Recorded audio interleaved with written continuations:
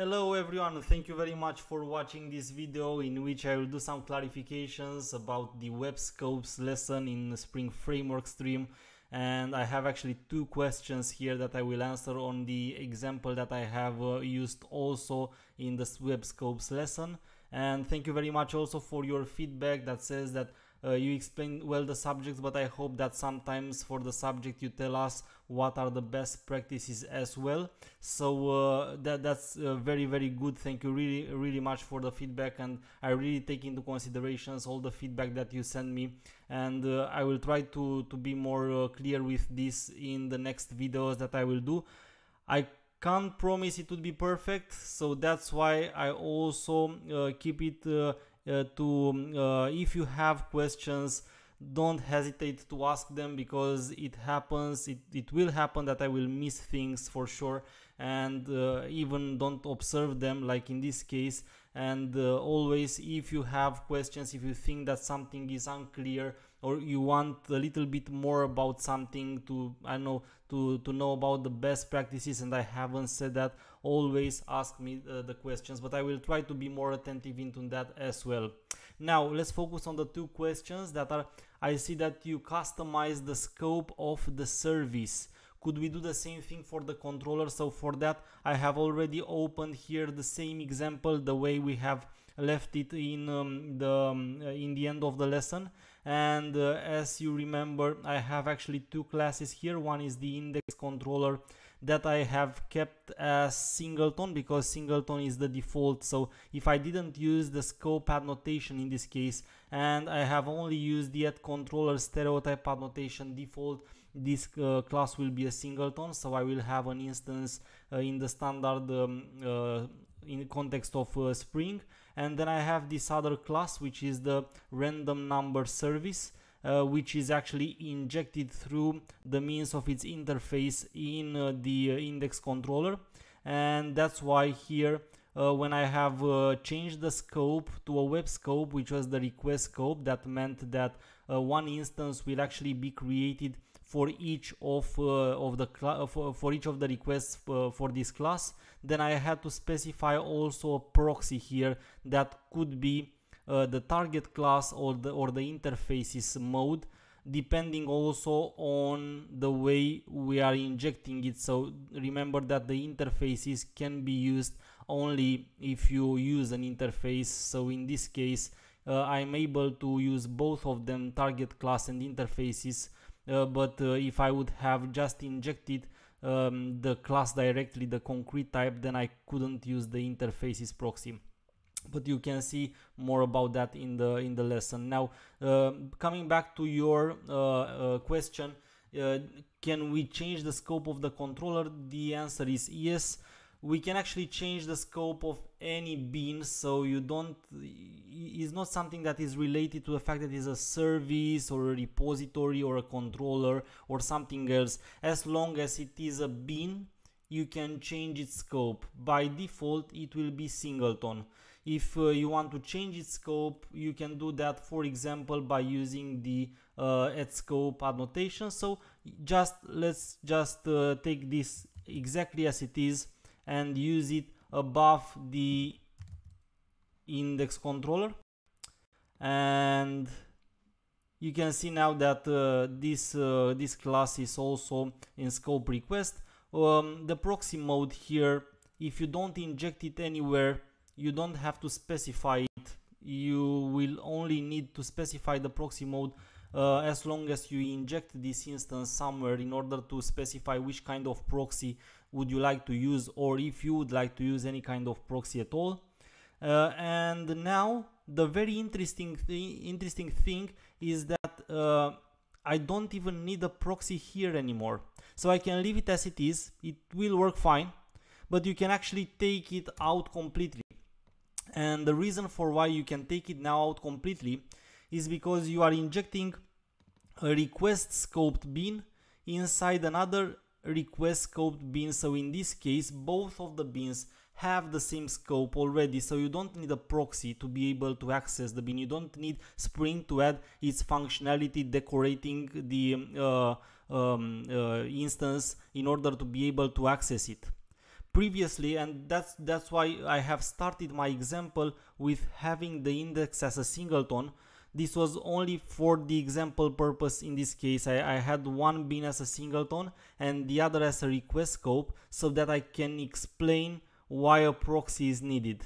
In that case you have one instance and then you have the other class that creates multiple instances because it's one per each request so if you have the controller in singleton scope, then you will only have one instance of the index controller, but you would have multiple instances of the random number service that is um, actually um, being in request scope. You will have one instance per each request because that, that's the request scope. So that's why you need a proxy. You need Spring to decorate um, this uh, injection in order to add some functionality to uh, leave you access the correct instance, create an instance per each request.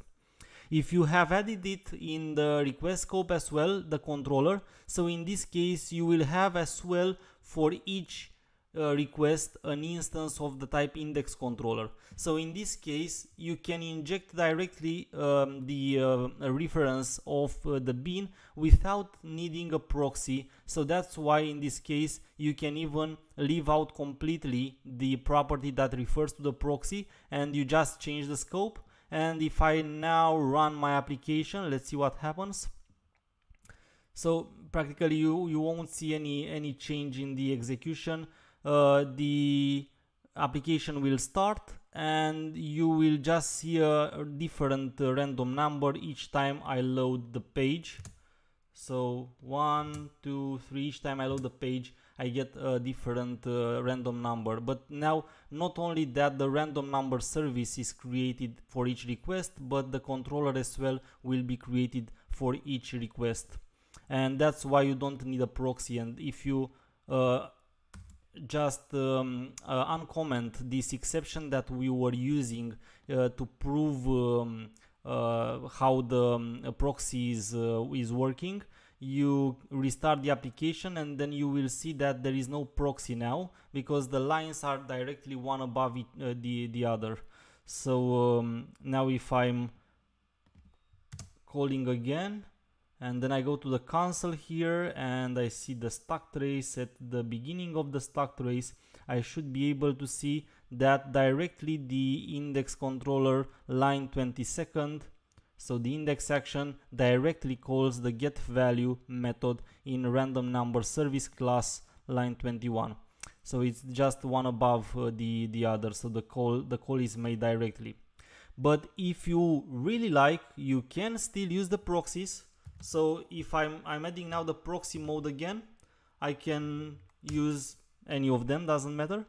You will see that you can still use the proxy in order to access the other bin. So it, it is uh, your choice if you want to uh, use a proxy or not. Usually in this case, now to focus also on the best practices, you wouldn't use a proxy because basically you don't need it so you you don't add some functionality if you don't need it in order to to achieve the best uh, the best performance.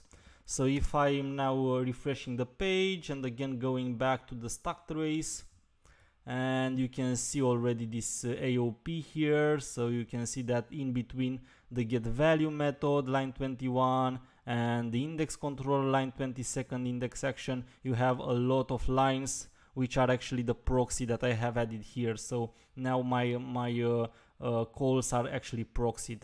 But again, from the best practice point of view, you always add the needed functionality as long as you need it. So if you don't need a proxy, then you don't add a proxy. You, you don't need to have some lines of code executed just to be there if they don't mean anything if they are not needed. So in this case, if both of them are of scope request, you would probably choose to directly inject the reference of uh, the bean in uh, the other uh, in the other class here without needing a proxy.